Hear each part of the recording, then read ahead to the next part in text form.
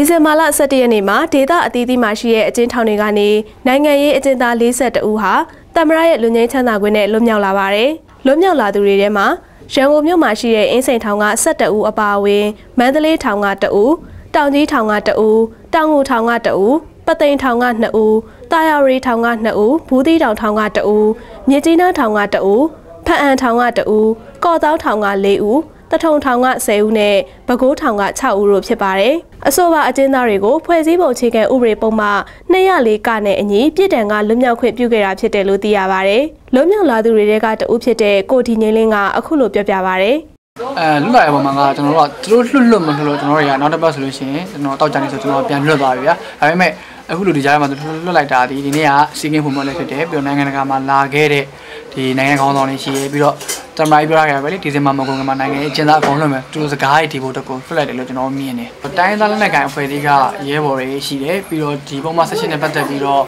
အာကြာခဲ့တယ်ကျွန်တော်ရဲဘော်တွေရှိသေးတယ်ဥမာလိုင်းစာလမ်းလျှောက်အဖွဲ့ကလူတွေပြီးတော့ကိုတစ်ထွတ်ပိုင်တို့ဒေါ်နော်အောင်လာတို့အဲ့လိုပုံကိုကြံနေသေးတယ်ပြီးတော့ပြင်မှာရှိနေတဲ့ပုံမှန်ဆက်ရှင်နဲ့ဆွဲခံရလူတွေကလည်းအများကြီးရှိတာ200ကျော်ရှိတာဒါတွေအကုန်လုံးက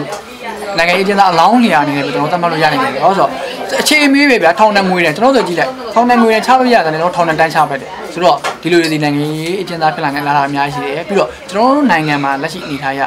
နိုင်ငံရေးအခြေတဲ့ပြဿနာကဖြေရှင်းလို့မပြီးသေးဘူးနိုင်ငံရေးချက်သားအကျဉ်းသားဆိုတာကတော့နိုင်ငံရေးချက်တဲ့ပြဿနာမဖြေရှင်းလို့မရမချင်းရတော့နိုင်ငံရေးအကျဉ်းသားရှိနေမှာပဲရှိနေမှာပဲဒါမှနိုင်ငံရေးအကျဉ်းသားတွေကကိုအောင်လို့မျိုးသမရာရဲ့ဝါသနာပိုင်စကလုံးတွေကဘယ်လိုပုံစံမျိုးအထိပဲဖွင့်မလဲဒါဆိုရင်တော့အထူးလေးလုံးချမ်းသာကိုပေးမှာပဲနိုင်ငံချင်းသားတော့ကုန်သွားလိမ့်မယ်ပြီးတော့ ခင်နဲ့ရှော်ညီမရှိတဲ့ဥပဒေတွေမစင်လို့လိုအပ်နေလိမ့်မယ်တရားဥပဒေစိုးမိုးရေးအကောင့်တွေဖုံးတွေလွတ်ဆောင်နေဖို့လိုအပ်လိမ့်မယ်ပြီးတော့လေသိန်းရာသိန်းမြေသိန်းအဲ့ပြဿနာပြည်လေတော့မှပဲနိုင်ငံရေးချင်းသားမရှိဘူးကျွန်တော်ပြောလို့ရလိမ့်မယ်ပြောလို့ရလိမ့်မယ်ပြီးနောက်ဆုံးအနေနဲ့ပြောမှဆိုတော့နိုင်ငံရေးပြဿနာပြည်လေသွားမှပဲနိုင်ငံရေးချင်းသားကုန်သွားမယ်လို့ပြောလို့ရမယ်အဲဆက်ဆံပုံကတော့ကျွန်တော်2000ခုကပရမကြီးထောင်ကြရင်တော်တော်လေးခွဲပါးဆန္ဒမှုရှိသွားတယ်ပရမကြီးဆိုကျွန်တော်တစ်နှစ်ကျော်ကျော်လောက်ကျွန်တော်တိုက်ပိတ်ခံထားရတယ်ဘောနော်တိုက်ထရပြင်မထွက်ရဘူးဒီနှစ်မှာတော့ကျွန်တော်ထောင်ထဲဝင်သွားတယ်ဝင်သွားသွားနေကျွန်တော်လွတ်လွတ်လပ်ပဲအေးဆေးပဲကျွန်တော်ထားတယ် အဲပေးဆုံးမှုတင်ကြမှုတွေဘာမှမရှိတော့ဘူးကျွန်တော်လွတ်လွတ်စာပဲထောင်ထဲမှာသွားပိုင်ဝင်နေအစားတော့တွေကစာပုံစံပြောင်းသွားတယ်နောက်ဆုံးကျွန်တော်ကိုကျောင်းသားတရားဖြစ်တဲ့အတွက်ကြောင့်မို့လို့ထောင်ထဲမှာကအစာမေးပွဲပြန်ပြီးတော့ဖြည့်ဆင်ခွင့်ပေးထားခဲ့တယ်ပေါ့ထိုနည်းလို့ဆိုတာပဲတခြားတော့ကျွန်တော်လိုပဲပေါ့ပညာရေးတစ်ပိုင်းသားနဲ့အကြောင်းအကြောင်းကြောင့်ထောင်ထဲရောက်နေကျောင်းသားတွေလည်းထောင်မိုးပဲဖြည့်ဆင်ခွင့်တွေကျွန်တော်ရသိချင်တယ်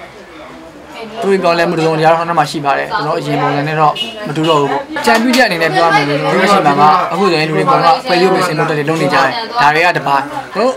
ခေတ်ဆက်ဆက်ဖြစ်နေရတရားဥပဒေစိုးမိုးမှုမရှိဘူးတရားဥပဒေရဲ့အထက်မှာလူပုဂ္ဂိုလ်တွေရှိနေတယ်အဲ့ဒါကြီးကိုကျွန်တော်ပြုလုပ်လဲဖို့တော့ကျွန်တော်ရေသမောဆောင်မယ်ကျွန်တော်မြင်နေဗျဟုတ်ဆိုကျွန်တော်တို့တရားဥပဒေစိုးမိုးရေးလမ်းကြောင်းကျွန်တော်ပြောနေရကြပြီဒါပေမဲ့တရားစုကြည်တွေရတယ်ကိုနဲ့ကပဲပြင်ဆင်လူစိတ်မရှိတာလားဒါမှမဟုတ်ပဲအထက်ကနေပဲခိုင်းနေတာပဲအခုချိန်ကြီးကြောက်နေရသေးတာလားဒါမှမဟုတ်ကျိုးနေစနစ်ကပဲကြံနေသေးရလားတော့မသိဘူးဗျလွတ်လပ်စွာတရားစီမံမှုပါအခွင့်အာဏာရပျောက်ဆုံးနေတာကျွန်တော်တွေ့နေရတယ်ဒါမျိုးကျွန်တော်တို့လုပ်ရလိမ့်မယ် ကြားဥပဒေစိုးမိုးမှုရှိမှလည်းကျွန်တော်တို့လူတွေအခွင့်အရေးတွေကိုအာမခံနေကျွန်တော်ရှိနေတယ်ကျွန်တော်မြင်နေဗျအဲမတရားကျွန်တော်တို့ပြန်မလို့မှာကအချင်းဥပဒေ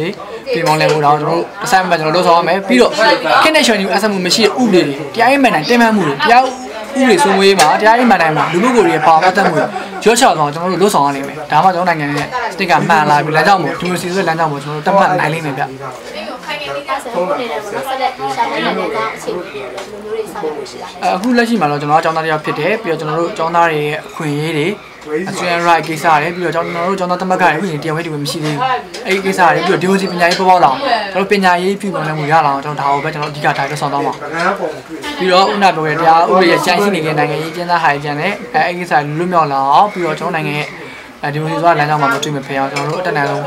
ကျွန်တော်ပါတော့ပါဝတ်ချက်ဖို့ကျွန်တော်ပြင်ဆင်ထားပါတယ်